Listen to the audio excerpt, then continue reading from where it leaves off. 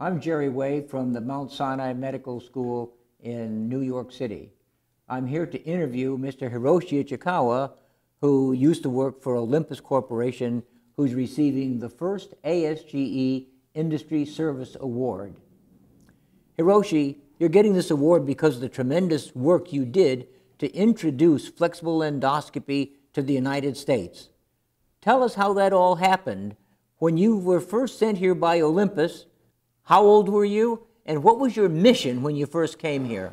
Well, I uh, joined Olympus uh, 1964, and my first assignment was uh, mic- microscope design, microscope section, not endoscope. But because endoscope business wasn't existing, then uh, four years later, endoscope came out, and uh, I asked the company to change my uh, job to more challenging job. Then uh, they sent me uh, the uh, New York to promote Olympus flexible endoscope, so-called gastro camera and the fiber, fiber optic endoscopes. Now tell us, what was the gastro camera? Is it different than what we use today?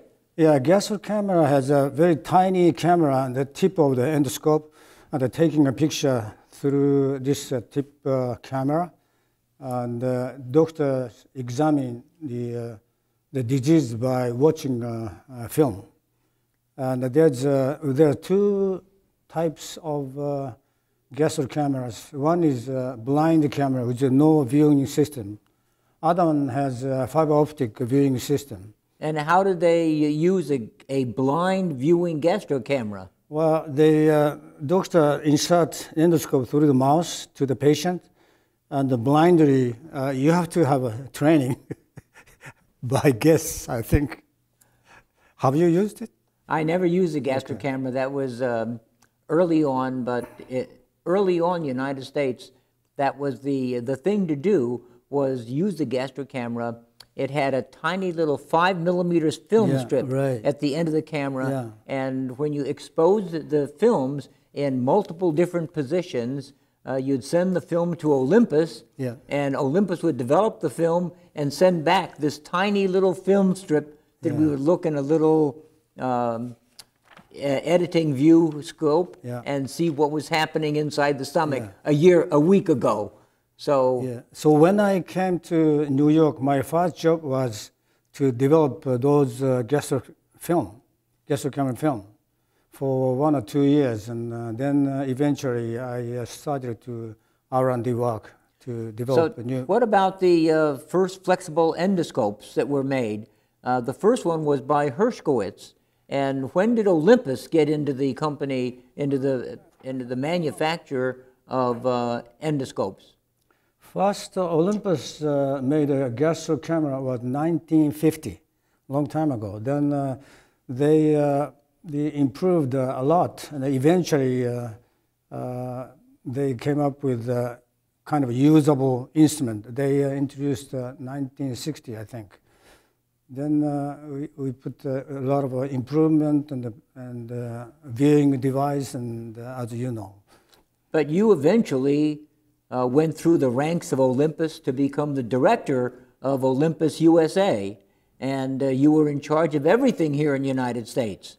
Um, what was your mission then when you came, uh, when you became the president of uh, Olympus USA? Uh, my first mission was to promote uh, Olympus gastro camera and Olympus uh, fiber endoscope. That was a mission to promote uh, to the United States because at that time in Japan, doctors started to use gastro camera already but in the United, in the United States, nobody knew this. Yes, it was something brand new, and uh, the, the flexible endoscopic market hadn't even started yet. When, uh, when, we, when you first came to the United States and tried to introduce endoscopy, uh, flexible endoscopy here in the United States, um, the older gastroenterologists were very adamant that people who did endoscopy were lower level people. Um, because we used to use uh, rigid instruments mm. and you couldn't really see very much and you had to make up a lot of what you were doing And uh, when flexible endoscopes came and other people could see through the, uh, through the lens, it was incredible how much more knowledge we had to, uh, to share. So over the years, um, you spent a lot of time running back and forth through the United States. And where did you go in the United States? Well, basically, uh, first of all, I before I did this, I took a two weeks uh, ga- gastroscopy uh, course uh, by Dr. John Morrissey at Yes. uh, University of Wisconsin. Then I learned a lot about the U.S. Uh, you know GI practice. Then I started to travel the, all over the United States with prototype instrument. To So- let uh, doctor, all doctors use it. But as I recall, you were you visited me lots of times, and uh, after you visited me, you'd be on the way to uh, to the airport to fly somewhere else to show them some new instrument. Um, all the time you were traveling Yes. while you were while you were here early in the United States. Yeah, I traveled but shortly after you arrived in the United States, um, rumor is that you helped Hiromi Shinya develop the first snares to take out polyps in the colon. Is that right? That's right. When uh, Dr. Shinya was uh, doing uh, just a te- I, I think a test uh, testing uh, to develop uh, colonoscopy, and he- I think uh, 1968, I right after I soon after I arrived in New York, I met uh, Dr. Shinya, and uh, he was uh, kind of passionate to develop uh, colonoscopy technique and also polypectomy. The polypectomy was his primary goal, not uh, colonoscopy. And he wanted to try to remove polyps from the colon by endoscope, not open surgery. Because uh, at that time, he told me that uh, he was a surgeon. And uh, 30% of uh, the colon surgery is to remove polyps. So uh, if uh, we can remove uh, colon from, uh, uh, you can remove polyps from the colon through the endoscope without surgery, that would be great. And uh, he said uh, we, we could save a lot of uh, lives. And So, how did you go about developing the snare technique? well, then uh, Hiromi, she and I discussed a lot, and uh, every day, every month, and uh, it took a long time to uh, come up with some kind of idea. And uh, finally, maybe snare might be the best. And we sketched out, and uh, we we made a lot of drawings, and uh, I I sent some of them to uh, Olympus Tokyo, uh, my boss, to make uh, prototypes for us, but uh, their answer was negative because. Uh, They didn't want you to do it? Right. Well, yes, yes, yes and no. Answer, answer was yes and no because uh, they said it's very dangerous uh, the procedure, and you may cause a perforation of this uh, colon. At the same time, uh, even medical community against the, this idea to remove uh, uh, polyps from the colon by utilizing a cautery device. So uh, we- said, okay, uh, but Dr. Shinya didn't give up. We didn't want to give up. So uh, I, I made a lot of uh, snare devices by myself. And uh, we started to use uh, those uh, uh, devices on the dog, in animal lab. Incredible. And uh, that's the way snares were made? Yeah. What did you use for the wire for the snare? Oh, uh, we, I uh, used all kinds of uh, the wires, but uh, the best wire I found was uh, the uh, wire uh, is being used uh, for, uh, in uh, endoscope uh, angulation mechanism. That wire is uh, the eight uh, thin coiled wire we call, we call braided wire. That is very strong and flexible and also uh, good for HF current, high frequent currency. And uh, this, I- we, we found this is the best. So uh, we started to use, uh, uh, I have a drawings and, and everything, but if you are interested. Those, those drawings go back a long way. Yeah. And now we have uh, easy, easy access to snares. Yeah, this uh, shows here uh, this article, and uh, maybe we have a lot of. Uh, All these are drawings of uh, your sketches of Yeah. what we should do with the, uh, with the snares. yeah, So now it's easy to take out polyps. That's, these days we have uh, endoscopic mucosal resection, endoscopic submucosal dissection. We have now full thickness resection of the Yeah. colon. Um, lots of new devices, all based on the original work that you and uh, Dr. Shinya did Yeah. with the original snares for taking out polyps. yeah. We didn't want to give up. Uh, we had a lot of pressure, but uh, I, I th- we thought this is a great, uh, you know, uh, It- procedure to save a lot of uh, It lives. certainly made a big difference. Now, when Welch Allyn came out with the first video endoscope, um, did that create panic in Olympus Corporation? Well, I think uh, Welch Allyn introduced uh, the first video endoscope in late 1980s.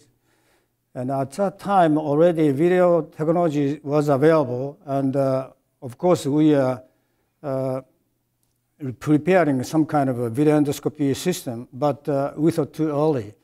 But uh, uh, we are surprised because the Welch Challenge introduced already.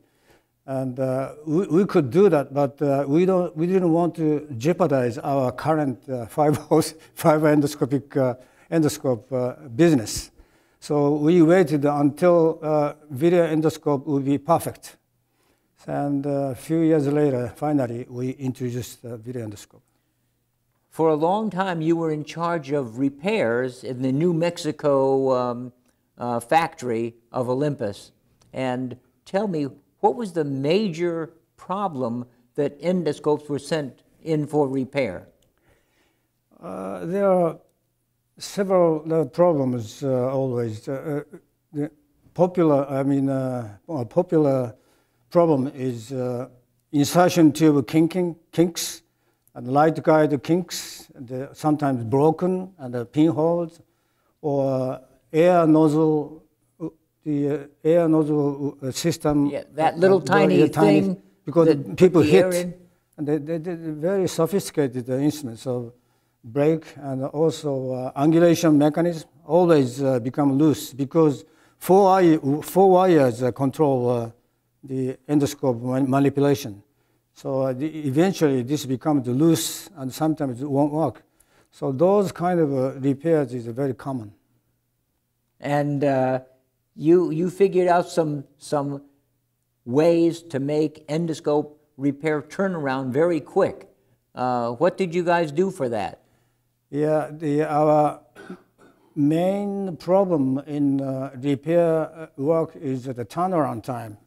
Uh, I, I think you remember when we receive instrument, takes about two or three weeks and fix it and return to hospital, and uh, that's too long. So we we we decided to make a program so that uh, when we receive instrument for overhaul, we exchange with the other instrument, just put the same number and return.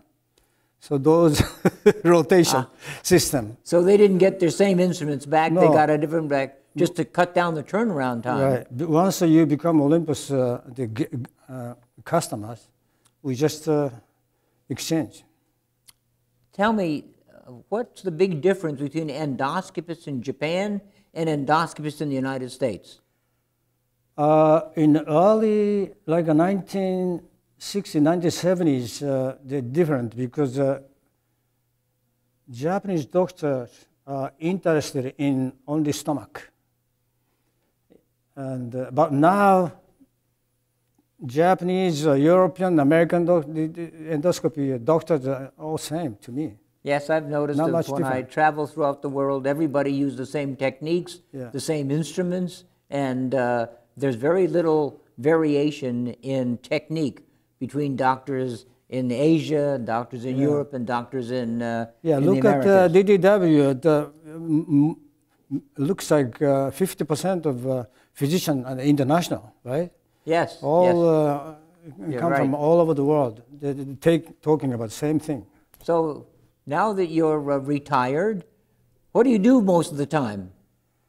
I I live in uh, three places. Uh, Long Island, New York, and uh, Albuquerque, New Mexico, and uh, Tokyo, Japan. Three places, and uh, I I travel around those cities all the time. They- and my they- hobby is uh, golf and painting. And uh, Painting? I love uh, watercolor painting. I, I've been doing since I was uh, five years old. It's a long time, and still I do painting. That's my hobby. So you uh, put yourself in a room and paint away.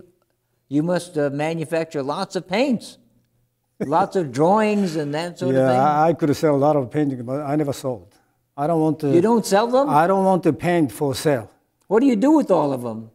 Oh, just uh, accumulate and uh, take a picture, and uh, I give uh, present all my families and friends, and you know. Too, too bad, too bad. But you've always wanted to be a, an artist, you tell me. Yeah, when I was uh, little kids, and uh, I wanted to be an artist, but uh, my my then I wanted to go to uh, the art school, the college, but my father strongly rejected against it, and uh, he said if uh, I go to uh, art school, he's not going to support anything. So I, um, young, I was young and I had no money and I couldn't do anything. So I followed whatever he said, and uh, I went to second choice engineering. Well, that was a good choice for us because you brought us a lot of information and uh, new techniques, new devices to help us bring the flexible endoscopy market into the United States. Yeah. Tell me, what advice do you have for young doctors and old doctors here that are doing endoscopy? Yeah, uh, the, when I was, I came here, the endoscopy, endoscope is very special uh, instrument, but now it's becoming almost commodity, and uh, everybody knows uh, everything. So uh, there's not much uh, room to improve. So I, I'm an engineer, and I, I came from the endoscope makers. So what I can say is. Uh, uh, for patient safety, cleaning and disinfection are very important, most important. And also, uh, since uh, instrument is very expensive, so uh, uh, I want you to, not only young, but all, everybody, handle instrument gently, carefully. All, that's all I can say. And also for young doctor, of course, you, you need to follow. Uh, ASG had a good uh, uh, guideline, so uh, you have to follow. Okay, thank you very much, Hiroshi. We all thank you for your work in the endoscopy industry. Thank you. Well, thank, you very much.